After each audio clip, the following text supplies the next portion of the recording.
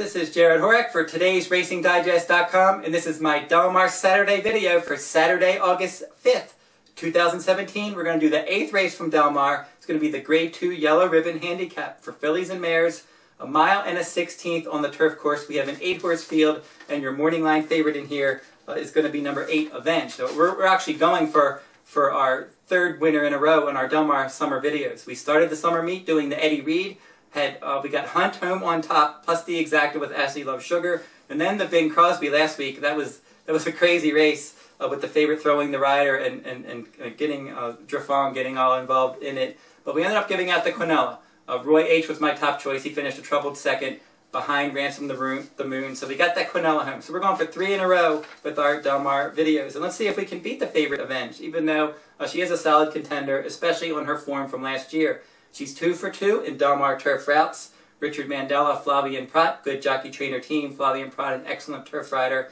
Richard Mandella, his last 15 starters, he's five for 15.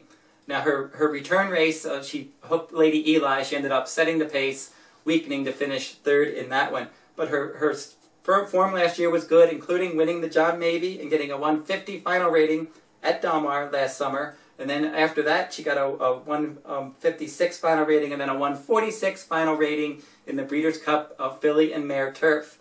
And then she came back this year, and her first start this year, she got a 140 final rating. You can see, based on her numbers last year and her first number this year, her number dropped off a bit. And she, she obviously could go better second off the layoff, but then there's also the possibility that she's just not as good this year. And then especially if she gets hooked early, you have horses like Frenzified and especially number four Juno that are capable of showing speed.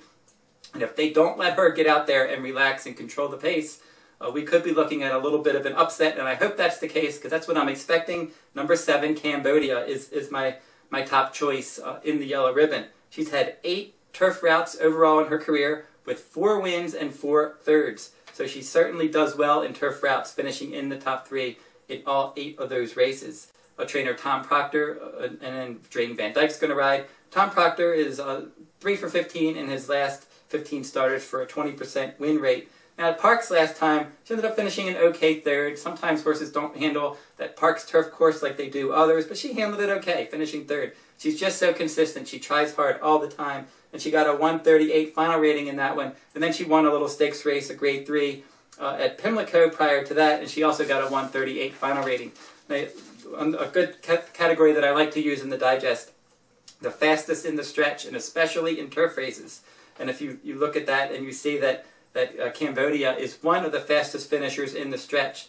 Now, the track profile for this race, you have uh, 40 races, 20% uh, won by front runners, 12% won by pressers, and then the mid runners and the, and the late runners uh, do best here. So then that, that kind of category, you're, you're looking for uh, horses that can close, and, and one that has a good finishing kick is Cambodia. She did have that 29.7 finishing kick at Parx last time, but she can finish faster than that. She had back-to-back races at Pimlico and Laurel where she finished in 28.5 seconds, and if she can run uh, her last uh, few furlongs that fast, uh, she certainly is going to be a big threat in here. Hillhouse High for trainer Richard Baltas, one to look at. Uh, Nakatani is going to ride. Good jockey trainer team. Baltas has finished, uh, his runners have finished in the top two in seven of his last 15 starters. So he's a good barn here. Couple starts back. Uh, she earned a 152 final rating in the Royal Heroine, but none of her other numbers are that good, and I think she's better at a mile. She's run once on the Del Mar Turf Course with one second place finish. But again, her number was a little bit inflated, I think, a couple back, but she is a threat stalking the pace. And then Pretty Girl, uh, one to look at as a long shot in here. Mike Smith rides back for trainer Paulo Lobo.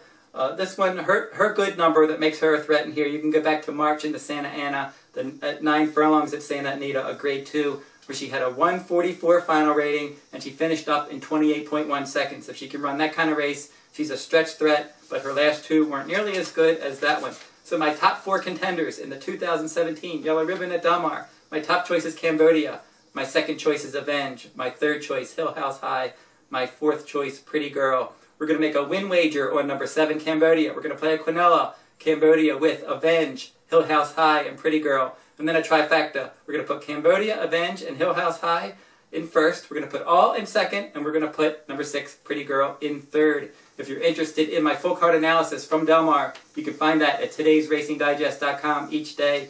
If you're, all, you're if you're also interested in this uh, complete digest for Del Mar for Yellow Ribbon Day 2017, you can go over to today'sracingdigest.com. Click on the products page. There you will find uh, this digest and then other digests from across the country. That'll wrap up this week's video. We'll be back next week with another stakes race from around the country, probably from Del Mar.